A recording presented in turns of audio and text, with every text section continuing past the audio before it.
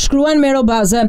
Ka një përpjekje titanike të Sali Berishës për të krijuar një moment politik ku atij t'i dëgjohet fjala. Nuk ka rëndësi për çfarë iniciative, propozimi apo debati në vend, rëndësi ka që dikush për çfarë do gjëje t'i japë shansin dhe ta konsiderojë atë institucion duke marrë parasysh propozimin e tij. Ky makth i ka nisur nga refuzimi i prerë i SHBA-ve për të mos e konsideruar më jo vetëm si kandidat për kryetar PD-së, por as si qytetar të zakonshëm të Shqipërisë. Po mbushet një vit që ai është në betejë me këtë makth, për t'u mbushur mendjen të vetëve se do ta korrigjojë këtë përjashtim të tij, u mbushi mendjen në daljen e tij më njëzet e dy maj të vitit kaluar se ka paditur sekretarin Antony Blinken në një gjykatë në Francë dhe ajo do vendosë drejtësinë. Pastaj muaj pas muaji përpiqej t'i mbante gjallë me gënjeshtrën e vet dhe simpatizantët e tij ndiqnin rrugën postare të letrës imagjinare të Sali Berishës, Se kur të mbërrinte në Francë, kur do niste gjyqi dhe si do shpallej doktori i pafajshëm. U mbush viti dhe letra nuk ka shkuar asgjëkund dhe natyrisht që s'ka shpresa se do hapet ndonjë gjyq. Pastaj shpiku luftën kundër Lulzim Bashës, duke e konsideruar ndëshkimin amerikan një komplot të Lulzim Bashës. Në një betejë shkatrimtare për Partinë Demokratike ai ngriti në këmbë gjithë pjesën primitive të PD-së, duke u mbushur atyre mendjen se kjo është një besëprerje nga Lulzim Basha në SHBA.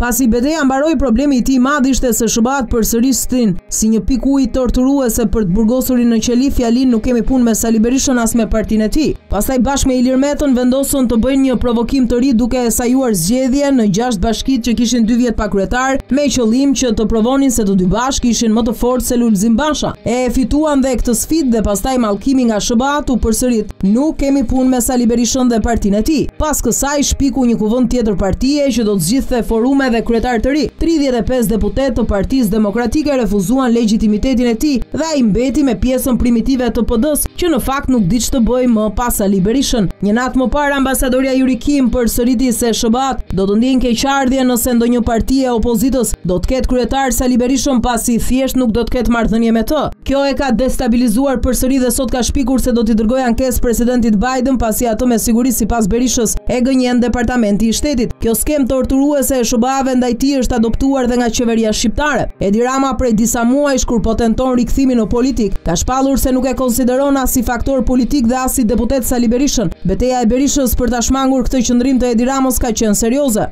Në fillim tha se Edi Rama ka interes të më ketë mua partner dhe jo Lulzim Bashën, me shpresë se po i shkelte syrin. Qëndrimi konstant i Edi Ramës duke e konsideruar të vdekur dhe të pakallur e ka nervozuar së tepërmi, sidomos pas thirrjeve për SPAK që ta hetojë atë si një të ndëshkuar nga SHBA-të për korrupsion madhor bashkë me familjarët. Kjo po e shtyn të ndërmarrë iniciativa në fushën ndërkombëtare me shpresë se do të vërë në pozita të vështira Shqipërinë me vendet e tjera. Një e tillë ishte edhe iniciativa për rezolutën e ndëshkimit të gjenocidit të Srebrenicës nga serbët, një ditë pasi Shqipëria e kishte ngritur këtë çështje në Këshillin e Sigurimit dhe kishte dënuar qëndrimin e të ngjashmit të Sali Berishës nën sanksionet amerikane Milorad Dodik. Shumica parlamentare refuzoi Sali Berishën, jo ndëshkimin e gjenocidit, edhe pse Berisha nuk e ka bërë atë kur ka qenë dy herë në pushtet. Kjo shumicë mund të gjejë momentin serioz për ta bërë atë në përvjetorin e masakrës së Srebrenicës në korrik dhe jo në përvjetorin e masakrës së SHBA-ve ndaj Berishës në maj kur Berisha Ka makthet e veta. Sot ka gjetur një arsye tjetër të bëjë rezolutë. Qenka shqetësuar nga Edi Rama në Bruksel, që ka thënë se nëse nuk marrim negociatat për shkak të vetos bullgare, duhet të ndryshojmë kurs e të ndahemi nga Maqedonia në këtë proces. Gjysmë ore më pas, i njëjti grup qesharak deputetësh që u kujtuan për Srebrenicën, tani po vajtojnë për Maqedoninë dhe duan të ndëshkojnë kursin antiperëndimor të Shqipërisë. Shpresa është që do dalë dikush në rajon që të thotë ka të drejtë Sali Berisha.